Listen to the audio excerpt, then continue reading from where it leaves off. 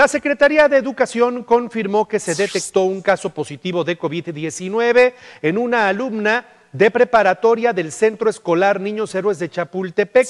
Le, cuento, le cuento la historia. La chica mostró síntomas en su domicilio la tarde del martes. Le hicieron una prueba, el miércoles ya no se presentó en la institución educativa. La dependencia informó que se aplicó el protocolo sanitario. La chica permanecerá en resguardo, pero también el resto del grupo va a tener que irse a un resguardo para efectos de observación, porque si alguno hubiese resultado contagiado, bueno, se evita con ello que se propague la enfermedad.